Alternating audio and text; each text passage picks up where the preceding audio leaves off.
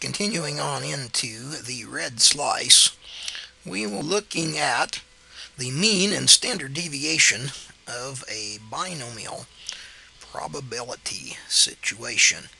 Uh, let's take a look at this one, which often gives my students some trouble. Now suppose that we have decided to test Clara, who works at the Psychic Center, to see if she really does have psychic abilities. Now, while talking to her on the phone, we'll thoroughly shuffle a standard deck of 52 cards, which of course is made up of 13 hearts, 13 spades, 13 diamonds, and 13 clubs. So let's quickly look over here at our deck of cards and uh, we can see that we do in fact have that situation.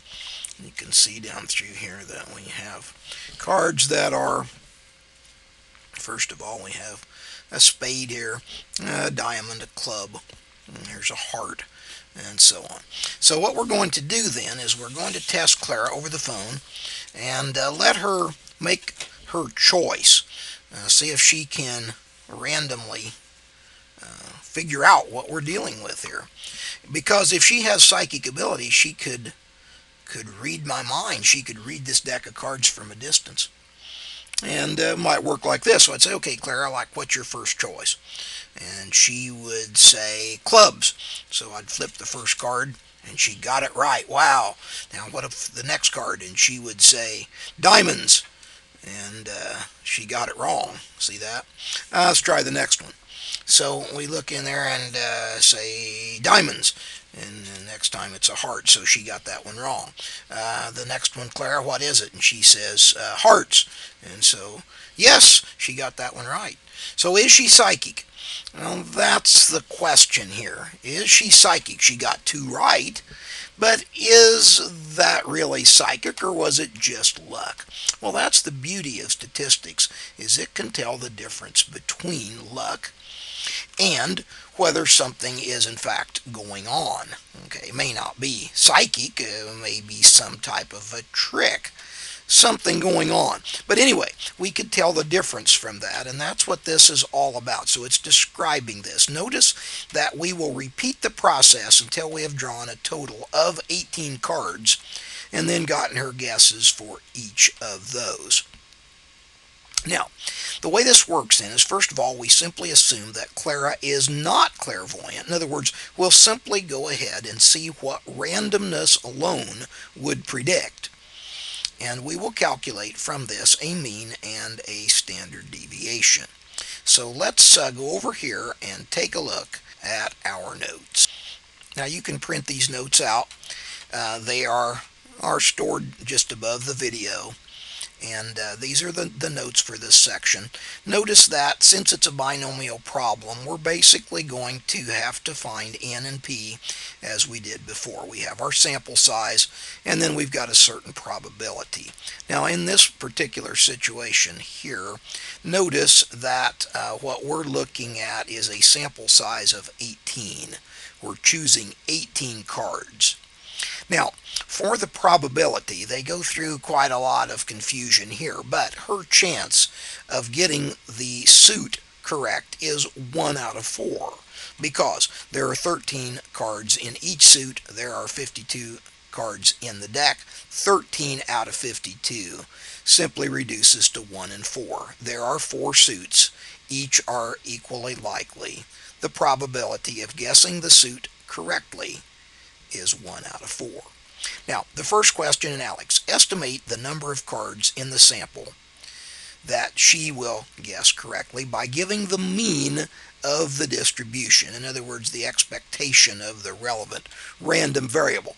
That's just another way of saying that we want to take our value of n, which in our case is 18, and we will multiply that times p, the probability. So in this case, this is pretty easy because what we're going to do is to grab our calculator. we're going to multiply n, which is 18, times our probability, which is 1 fourth or 0.25 as a decimal. That means that she should get 4.5, so she should get 4 or maybe 5 of those cards with the correct suit just based on chance alone. So let's go ahead and enter that. Okay, so she ought to get that many right just on chance. Now, if she starts getting a lot more than that, uh, maybe she is psychic. On the other hand, we can expect some leeway. It says quantify the uncertainty of your estimate by giving the standard deviation. Well, if you look back at the formula over here, you will notice that our standard deviation here is given as the square root of NPQ. So what we're going to do here is to grab our ALEKS calculator. We're going to take the uh, square root of n, which is our 18, that's the number of cards in our sample, multiply by p, which we said was 0.25, that's the chance of guessing the suit correctly, and then multiply by q, which is your chance of not guessing it correctly, and of course there'd be 3 fourths or 0.75 probability for that. So the standard deviation, um, and they want this to three decimal places, is about 1.837 which means that um, 1.837. Now that means that we would expect her to get uh, around four or five cards correct, but she could get as many as maybe two more than that, so maybe she would get as many as seven. She might get as few as, if it's the low end, say 4 minus 2. She might only get 2 right.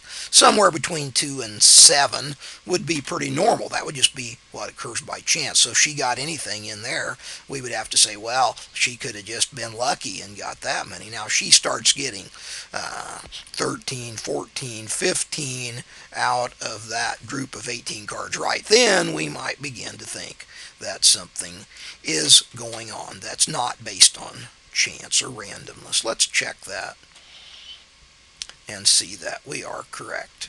So this is mean and standard deviation of a binomial probability in ALEKS statistics.